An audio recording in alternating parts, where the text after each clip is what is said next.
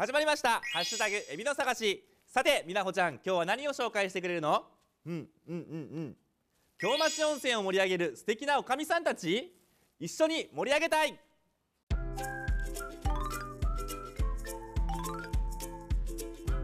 ハッシュタグエビの探し。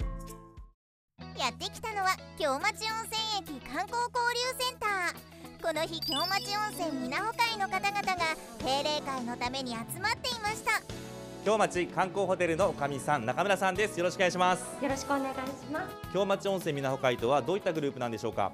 はい、えー、京町温泉みなほ会は海老名市内の京町温泉、吉田温泉、格闘温泉のおかみさんたちが集まって活動しているグループです。これまでにいろいろな活動をしてきたと思うんですけどもどのような取り組みをしてきたんでしょうか？温泉水を使ってアロマ入りの温泉石鹸を作ることから始まりまして旅館にお泊まりのお客様に可愛い浴衣を着ていただきたいという気持ちから野街道とエビノの花のエビネランのデザインの可愛い色浴衣を作りました他にもみなほ会の皆さんは温泉ソムリエの認定を受けていて温泉をより楽しんでもらうため温泉授業というものも定期的に開催しているんです。この日は新しいお土産品を作ろうということでパッケージの選定が行われていました。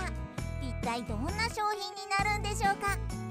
世界中でエビの高原にだけ自生する野街道の花野街道のつぼみをモチーフにデザインを考えました。中身はエビノのお米とエビノで作っている甘酒を組み込んだあのとても可愛らしいクッキーが入ることになっています。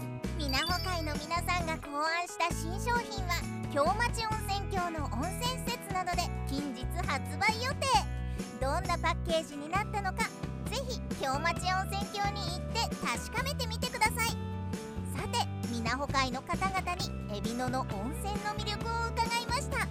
エビノの温泉のいいところは超レトロでアットホームのところです。なるほど。旅館の朝食です。どういったところがいいんですか？